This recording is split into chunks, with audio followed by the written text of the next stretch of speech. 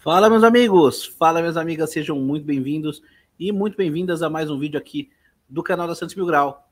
Quem fala aqui, como sempre, é o Manu. E antes de eu começar a falar sobre o tema do nosso vídeo, já sabe, né? Eu peço para que você se inscreva no canal, ative as notificações, deixa o like, por favor, o joinha de graça, aperta o joinha que não custa nada e ajuda o canal. Nos siga nas redes sociais, Santos Mil Grau tá na, no Facebook, Instagram, Twitter, Threads, em todo lugar.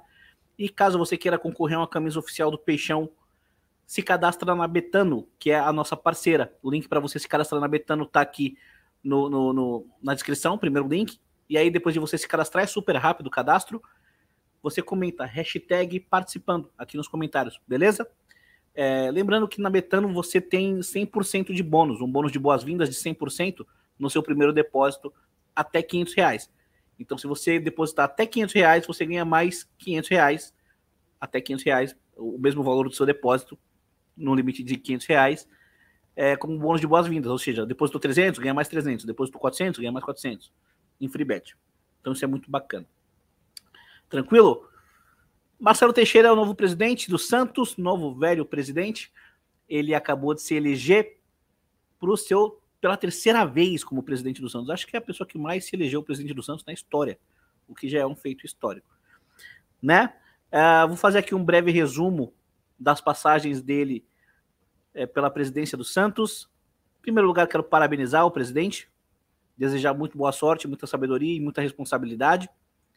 Ele que, além de se eleger para o terceiro mandato, terceiro mandato não, né? Porque em 2000 ele se elege várias vezes, na década de 2000, mas além de se eleger presidente pela terceira vez, porque na década de 2000 ele se reelegeu, né? Desejar muita sorte, além de se eleger pela terceira vez, ele elegeu 100% do Conselho Deliberativo, o que não é algo que me, me, me, me agrada muito, porque com o Rueda foi assim.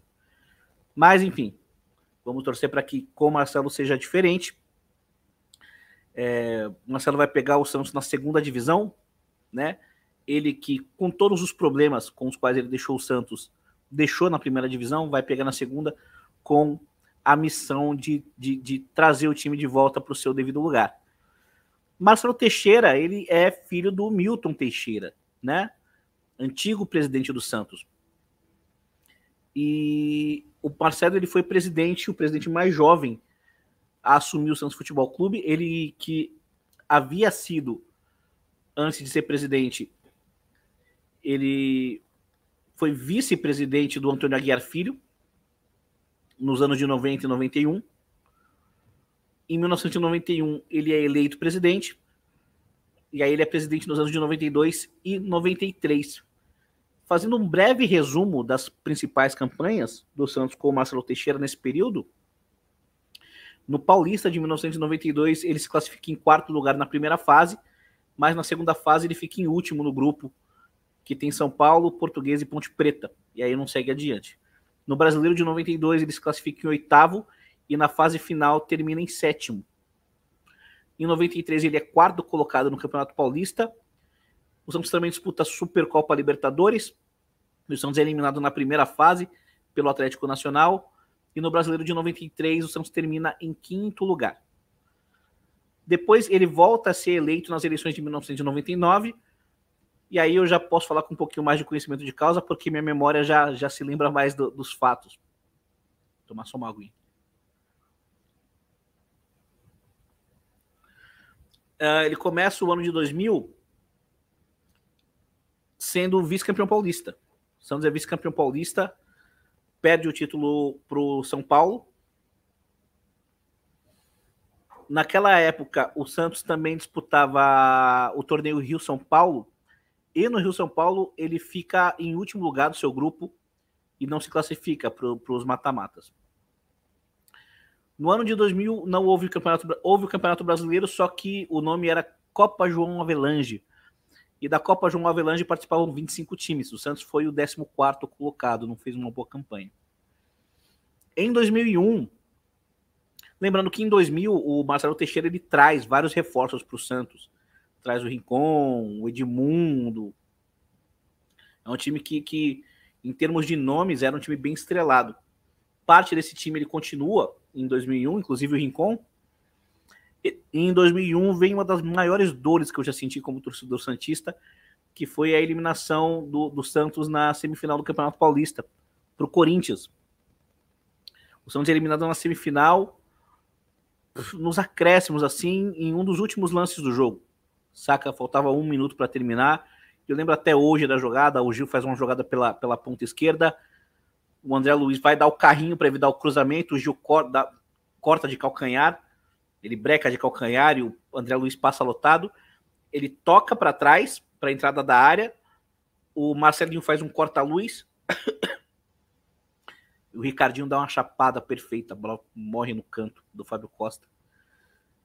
E aquilo era uma final antecipada. Inclusive, o Marcelo Teixeira, em entrevista aqui ao canal, falou, ele e o Renatinho falaram que para aquele jogo o Marcelo tinha prometido o bicho de campeão, porque era uma final antecipada. Quem passasse de Santos e Corinthians naquela semifinal ia encarar o Botafogo de São Paulo. O Corinthians passou e de fato foi campeão. Cara, fiquei muito triste naquele dia. Uh, no Rio São Paulo, o Santos vai até as semifinais. E nas semifinais ele cai para o Botafogo, na Vila Belmiro. A gente empata o jogo de ida no Rio de Janeiro e na volta aqui na Vila perde de 1 a 0. No brasileiro, o brasileiro de 2001 teve 28 times, o Santos ficou em 15. Mas eu lembro, assim, com muito carinho desse brasileiro, porque teve, tiveram alguns jogos memoráveis para mim e teve um time bom. Aquele meio-campo tinha Robert, o Marcelinho, o Marcelinho Carioca veio do Corinthians para o Santos, uh, o Viola no ataque. Era um bom time, cara. Era um bom time. Fez alguns bons jogos e alguns jogos não tão bons. É, mas não se classificou. E aí vem o ano de 2002, e a partir de 2002 a história do Marcelo Teixeira ela ganha novos entornos, né? Ganha, ganha uma nova um novo protagonismo, ganha um novo peso, digamos assim.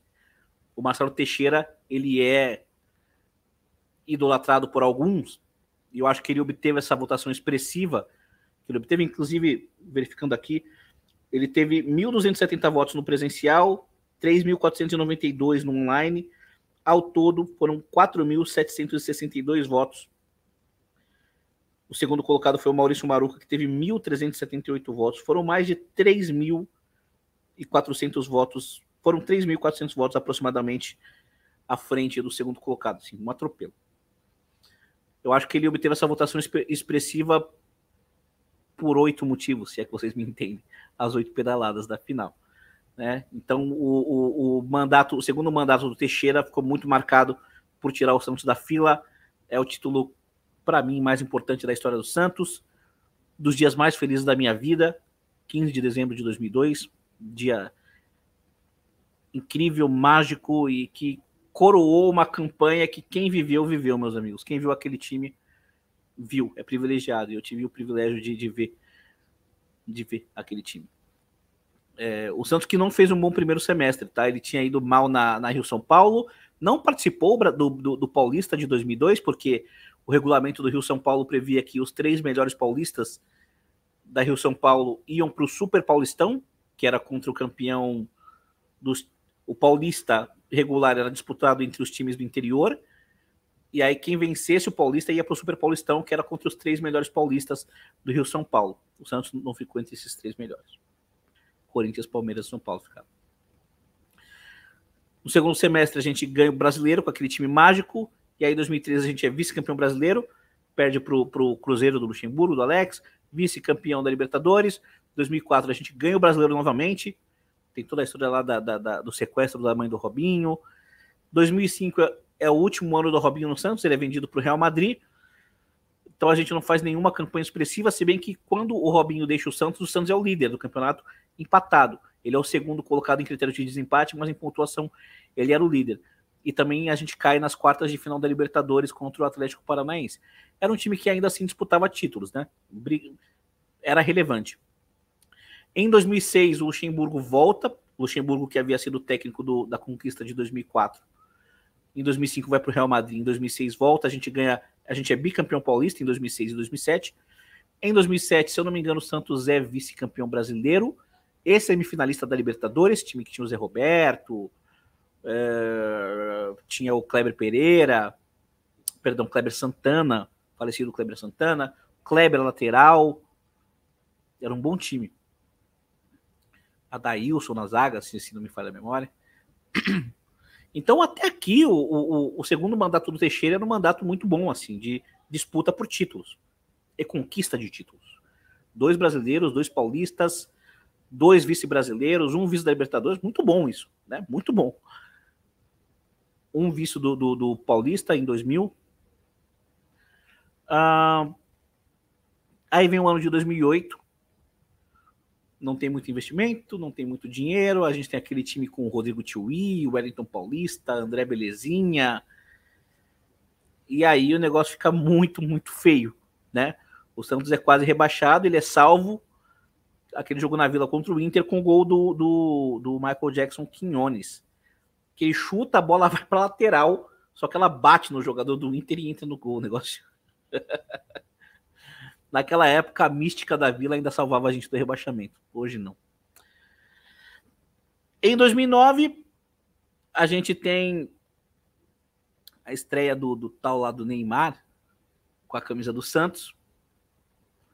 O Santos é vice-campeão paulista em 2009, perde para o Corinthians, a final. Time que tinha Kleber Pereira, tinha Matson. No brasileiro, a gente não faz uma grande campanha, não lembro exatamente em qual posição a gente termina, mas com o Luxemburgo deixando o Neymar muito no banco. E aí, com muitos problemas administrativos, o Marcelo Teixeira perde as eleições em 2009 para o Laor. E em 2010 ele tem as contas de 2009 rejeitadas. Essa questão ainda corre né, na justiça então não vou fazer maiores comentários. Até porque eu não estou aqui para cornetar um presidente que acabou de ser eleito. O momento não é isso. O momento é de união, de desejar boa sorte, de torcer para que ele faça um bom trabalho. Porque se ele não fizer um bom trabalho, meu Deus do céu, a gente está na Série B, o que, o que nos espera? E daí em diante, gestão Laor, Podilho, Modesto Roma, Pérez, Rolo e, enfim, o dito cujo lá. Aquele que não deve ser nomeado.